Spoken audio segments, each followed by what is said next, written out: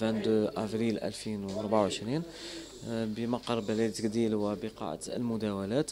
قمنا نحن رئيس المجلس الشعبي البلدي وأعضاء المجلس الشعبي البلدي بحضور السيد آه، شيخنا الصادق إمام مسجد عقبة بن نافع وكذلك بائعي السمك من آه، عملية القرعة لتحديد قائمة القائمة الإسمية للمستفيدين من طاولات السمك على مستوى يعني سامباك. كان عندنا عندنا سوق السمك القديم.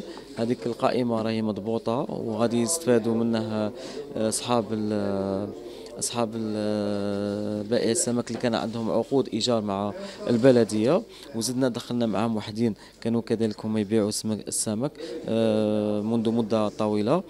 وفي السامباك هذا اللي زدناه يعني يحتوي على 20 طاولة. في هذه 20 طاولة غادي نديروا اليوم درنا اليوم القرعة إن شاء الله. وغادي يستلموا الطاولات تاعهم ويبدوا في ممارسة هذا النشاط تاع بيع السمك في يعني في نظام. بعد ما كانوا يمارسوا هذا النشاط يعني في الأرصفة وفي الشارع. حمو بوتليليس وين كان هذا الشارع يعني مغلق وفيه الحركة المرورية تكاد تكون تكاد تكون فيه منعدمة. وبهذه المناسبة إحنا نحيي يعني رئيس أمن دائرة قديل وكذلك أعوان شرطة اللي هما ساهرين واقفين على راحة سكان قديل. وكذلك على آه، أن تكون هذه عملية يعني آه، عملية القرعة وعملية آه، إدخال هذا البائع السمك إلى المسمكة القديمة والمسمكة الجديدة في ظروف جد حسنة وعادية.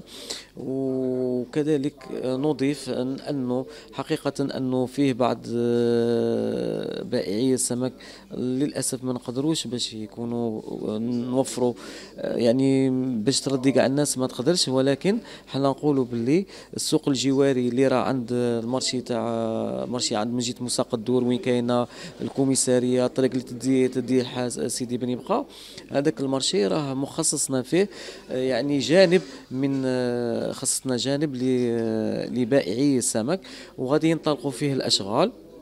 لهذا حنا نطلبوا هاد البائعي السمك يتفهموا الوضع يتفهموا الوضع و...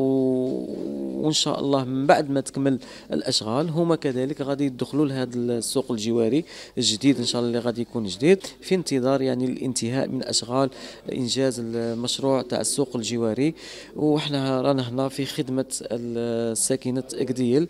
وبارك الله فيكم وشكرا.